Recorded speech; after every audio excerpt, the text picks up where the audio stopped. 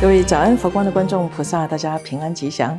今天星期天哦，我相信啊，今天应该是应该是几乎是所有的道场吧，嗯，至少是绝大多数道场哦，应该都是起见观音法会啊，或者礼拜观世音菩萨的大悲忏仪，就大悲忏法会了哦。那呃，当然我要提醒大家哦，呃，各地的这个法会时间有点不同哦。那以我们呃渥太华佛光山来说哦，是早上九点半。平常时我们的共修法会在十点钟开始，但是大悲忏法会呢，时间就稍微长一点哦，所以就提早哦，在啊今天的上午啊，就早上九点半举行大悲忏法会哦，所以实际上注意一下哦。那以何因缘呢？啊，其实就是明天是农历的二月十九号哦，在星期一是观音菩萨的圣诞哦，所以纪念观音菩萨的圣诞，我们就提早一天在星期天啊来举行啊观音法会啊礼拜大悲忏哦。好，那么讲起来，观音菩萨呢，呃，大家都是呃非常非常的呃了解了，这已经是我们大家共同的母亲哦。为什么观音菩萨这么受欢迎啊？哦，当然，观音菩萨寻声救苦、救苦救难呐！啊，各位看今天，嗯，这张背景一定啊让大家非常欢喜吧？哦，哎，那呃说起来，呃，今天的这张背景其实花了很大的功夫啊，那来制作的哦。呃首先先说这尊观音菩萨哦，呃，这是王寿轩老师的作品哦。那当然，各位可以上网啊，去呃，就是搜寻老师的一些呃经历啊，经历过人生的嗯非常辛苦的，非常真的辛苦的啊过程。但是呃，真的经过这一些，说曾经沧海啊，经过了，最终最终化为这这是心中啊这尊观音菩萨画出来。他说要画第二次都画不出来了哈啊那。那我跟这尊观音菩萨的因缘呢，其实是在呃，都三十五年以前呢，呃，多多久啊？反正就是呃三四十年前。然后我在佛学院当学生的时候啊，有一次看到有位学长啊，他有个呃这个复制品啊啊，我当时好喜欢你好羡慕啊，但是我知道。嗯，我是根本开不了口啊，要去。当时以前我们也不懂，可以复印啊，怎么都不懂啊。只是这就一直成为我心中的观音菩萨哦。呃，那后来有个因缘啊，几年前呢啊，竟然在多伦多佛光山的，它有一个结缘品在放的地方啊，就放了一张，呃，也是复制品啊，呃，人家另外印刷的啊，这么小张的哦，啊对我来讲呢，啊。这真是天上掉下来的啊！我心中的观音菩萨竟然出现哦，竟然在海外耶！哈啊，所以当时如获至宝啊，就一直都带着哦啊，就贴在我书桌前面这样子哎。那么呃，所以认识我的法师们都知道哦，就是那一尊啊啊，确实哈呃，那呃，当然要把它呈现到包含跟呃这一首寄语。啊，放在一起，其实是我们的方圆花了好大的功夫哦。嗯，这是呃，这是我抄写的《礼拜观音记》，或者有些地方啊，就直接写“西发菩提心”哦。那大家都知道，呃，为什么叫《礼拜观音记》啊？这首寄语啊，我们呃知道是呃，各位还记得吗？就是我在前两三周吧，哦，呃，在介绍啊一本书啊，就呃这个。呃，讲到阅读人间介绍一本书的时候，呃，介绍师傅的治学之道啊，里头师傅讲到说影响他的哦，那第一次是怎么样？第二次到第三次的时候，就是跟观音菩萨有关啊，哎，是怎么回事呢？啊，当时没有时间细说了，其实呃，就是师傅呃，照说了，我们要去受三坛大戒啊，都要成年之后。哦，或者十八岁以上、二十岁以上才可以去受比丘、比丘尼戒哦。但师父的因缘真的是比较特别哦。十五岁啊，我们的师公智开上人呢，就就让师父去受戒了哦。那呃，去到戒场，呃，我们的师公还特别拜托呃当时的戒师啊，这些都是师公的等于是好朋友哦，说这是未来的栋梁啊，就人才哦，要给他好好调教，就是说不用客气，就一律从严啊，不要因为是朋友的弟子，然后就有什么优优厚的待遇啊，没有的，反而比别人呃要求的更加倍的啊那种呃严格了哦，呃，那么总之呢，是到了呃这个受戒过程，我就不说哦，因为。在话说师父的这个啊音档里头啊，都可以听得到。那现在讲起来，就是在受戒点戒疤的时候哦，就是呃当时的戒师因为呃施工的呃拜托嘛，哦就在他头上点了九颗啊。这个我们我们受戒哈，出家人头上要点戒疤的。当然现在呢，呃现在在国内是没有了哦，就是在大陆呃在传戒的时候是没有点戒疤，慢慢因为。点这个烧戒疤，就燃身供佛，这个还是中国佛教呃后期，因为啊要识别啊是不是真的出家人哈啊，然后就说有个标志这样啊，哎那但在印度在佛陀时代是没有的。那么呃现在来说啊，就是呃你就是烧了戒疤，你要假扮也是可以的。啊，所以这些都不是就不足以作为一个鉴别了。以现在来说，所以在呃大陆呢，目前就是呃中国佛教的出家人啊受三坛大戒啊之后是没有啊在啊烧这个戒疤，但是以前有啊啊啊最早的时候啊，那当时师傅头上点九颗哦啊，一般我们就是三颗代表戒定慧啊，这样就可以了哦。那嗯，那不但当时的戒师帮师傅在头上点。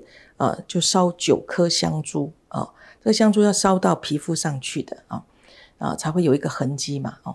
那不但点啊，那还要把它吹，让它这个火烧的旺一点哦，就要发大心这样哦。结果那个香珠啊啊，就因为火就是就是它是燃生哦，会会烧下去，就香珠就粘在一起，这个头盖骨地方呢就凹下去了啊，这有点就是呃好像。呃呃，有一点怎么讲，烧过头了哦，啊，就啊有这个外伤。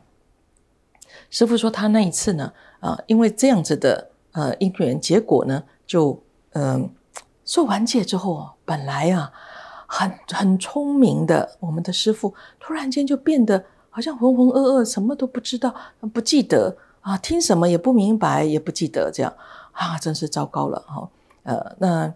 嗯，当然，师公还有老师们都也着急，这是业障现前吗？是考验吗？还是怎么样嘛？哦，那后来就教师傅说：“那你去拜观音菩萨。”当时就把这寄语交给师傅，师傅每天拜，每天拜，就真的说几个月下来，不知道什么时候突然间呢，就好像不但恢复，而且记忆力呀、理解力、表达力啊，这是突飞猛进啊！啊，真是惊人的进步哦！那总是这这一首呃礼拜观音记啊，就是师父教给我们的啊。各位看，我在礼拜的时候，为什么特别提到求聪明、拜智慧？啊，因为当时师父就是啊失去了这些东西啊，然后就希望啊观音菩萨加持，呃消除业障哦，呃这去除苦难，然后。呃，再回回复啊，就是给予啊这个智慧啊啊，所以师傅这样礼拜啊之后啊，当然智慧大开了哈啊，所以今天啊，在观音菩萨呃这纪念观音菩萨圣诞哦，特别把这一尊观音菩萨哦，还有呃这首礼拜观音记啊啊提出来啊，如果有时间，待会儿我们还可以唱一下哦。就是这样念着这样拜，就是呃，就是足够的了哦。但因为我们学的时候是连唱都有跟着学嘛哦。但是我还是要讲一下，观音菩萨到底是谁啊？嗯，我刚刚一开始就讲啊，这是我们大家共同的母亲，你总不能不认识她吧？哦，有人讲观音菩萨是呃女性啊，是中国人啊，是哪里哪里啊？其实观音菩萨她是古佛。道驾慈航，趁愿再来。他是过去已经是叫正法明如来，已经是成佛的啦。哦，那为了我们怜悯我们众生啊，真的叫道家慈航哦，回头再来哦，呃，所以在不同的场合，真的观音菩萨，呃，就像《法华经普门品》里头所说啊，因以何身得度者，观音菩萨即现何身而为说法。所以他到底是谁呢？啊，那如果要在经典中去找寻啊，《能言经》里头讲哦，他是初住菩萨。那初就我们讲说菩萨哈，他呃从登就进入菩萨的行行列啊，这从十性位啊呃这个开始哦，然后一直到就经过五十一个阶位哦。好像五十一年级这样啊，十性、十住、十行、十回向啊，到十地，然后就等觉到妙觉啊。那观音菩萨，呃，是在哪里的菩萨呀？哦，如果讲五十一年级，那观音菩萨，如果他视线趁愿再来，那他是在在哪里？哦，啊，能言经里头说他是初住位的菩萨，那相当于就好像中学生一年级耶啊，这么低的阶位。啊，我也不能讲低哈，真不好意思哈。但是相较于呃等觉菩萨，那当然是就好像呃才中学而已嘛哈。那华严经里头也就呃善财童子五十三参呃呃观音菩萨当时讲他在十回向位，他是第七位啊，就是呃第七回向，相当于就是好像大学七年级这样啊。但是法华经里头。他已经到等觉位了，相当于博士班的学生了。所以连在经典里头，呃，所记录下来、记载下来的观音菩萨，到底到底他是怎么样的一位菩萨呀？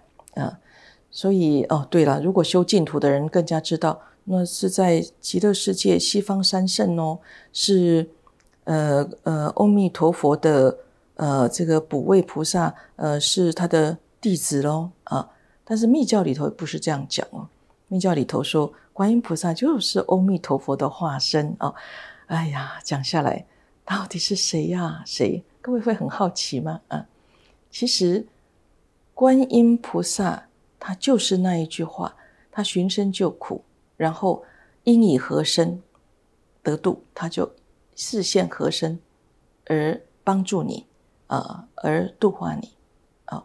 像这样子了啊，所以他可以是，是可以是每每一个，呃，所有你需要他视线的，他就呈现那样，哇，那真是无量光啊！哦，所以呃，在当然你说他哪一国人呢？哦，最早出现当然是在印度嘛，哦，那只是我们呃中国佛教哦，把观音菩萨的画像哇，三十二应化身啊，画的好美，就像这尊观音菩萨。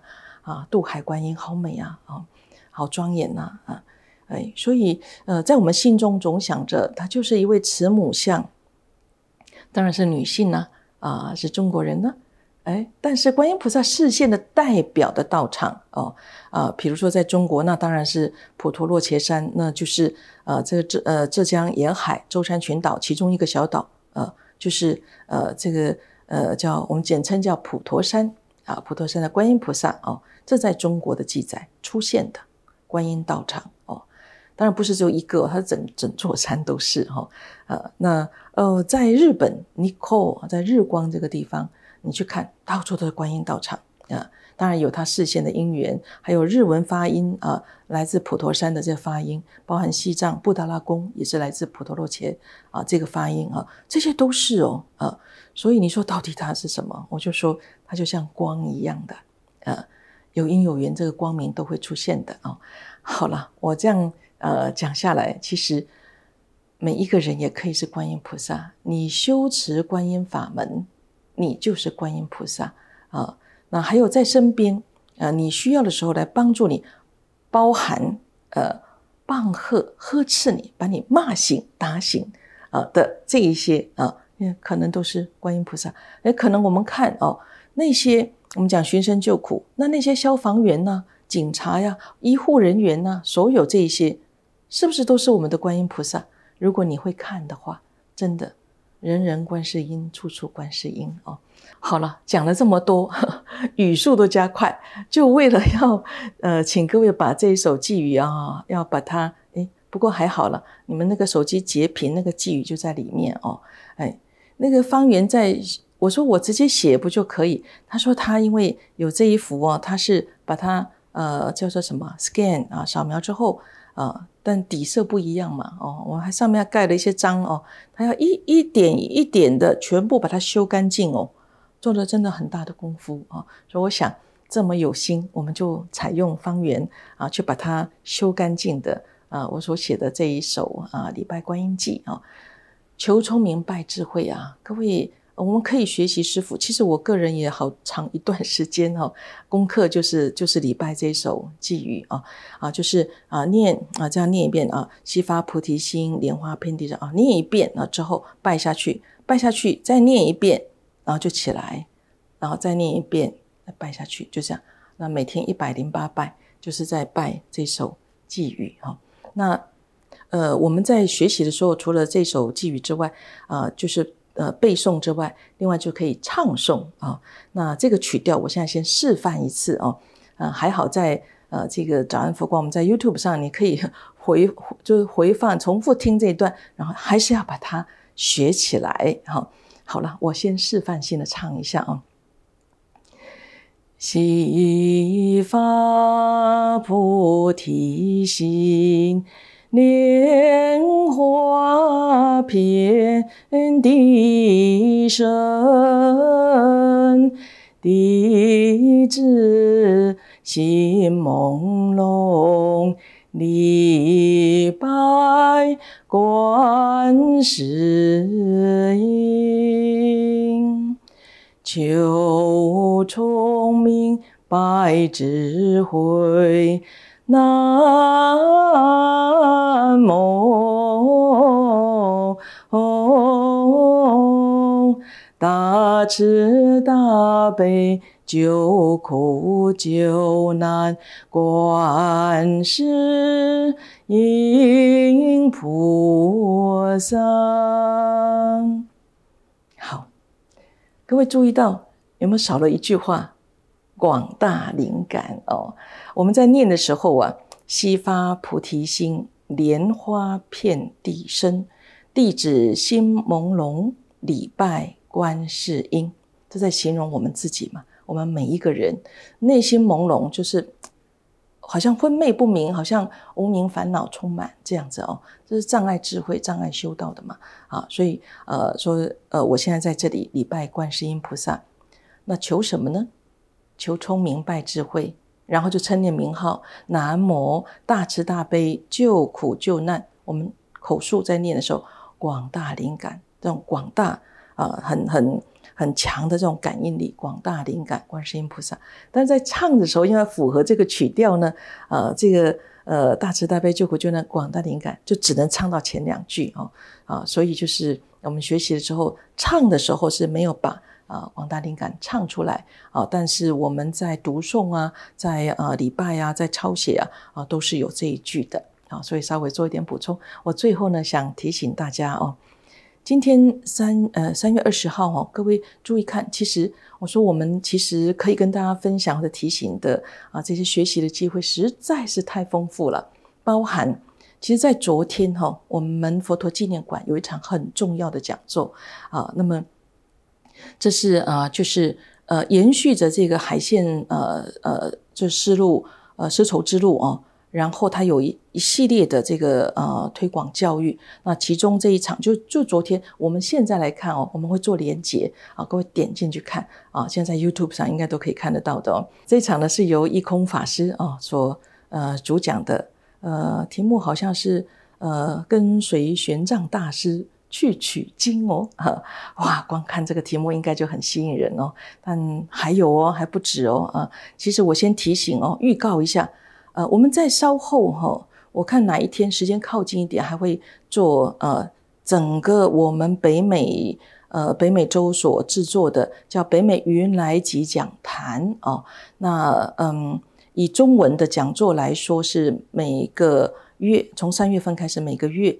啊，最后一个星期天，美东时间晚上七点半啊，就可以啊来聆听哦。那么呃，第一场那就是在下个星期天呐哦，下个星期天三月二十七号，呃，是如常法师，就佛陀纪念馆的馆长如常法师哦。那么要跟我们啊来啊做这场讲座哦。他主要还是啊介绍的还是啊在佛陀纪念馆这场非常殊胜了不起的啊特展哦，呃，就是这个有关于海线的啊丝绸之路啊。那这场呃题目呢就叫呃追随高僧行脚去啊，呃这一路因为我们一般是陆路的丝绸之路嘛。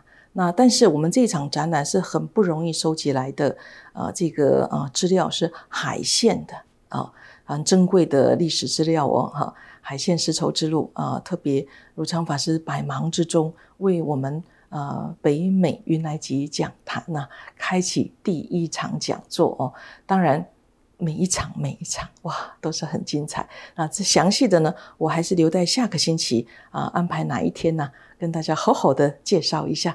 那今天呢，我们在这里，呃，这一集早安佛光，我就是很高兴啊，可以把啊这尊观音菩萨啊，不但请出来，也把师父开智慧的礼拜观音记啊，也请出来啊。大家真的要好好的用功啊。观音菩萨是谁？观音菩萨在哪里啊？只要你心中有观音菩萨，你修持观音法门啊，你那么你所见的都会是观音菩萨的。好，呃，今天就分享到这里哦。那当然，呃，今天刚刚提到啊就是各个道场呃举行观音法会啊。那我台华佛光山礼拜大悲忏法会是在早上九点半，提醒大家，祝福大家，阿弥陀佛。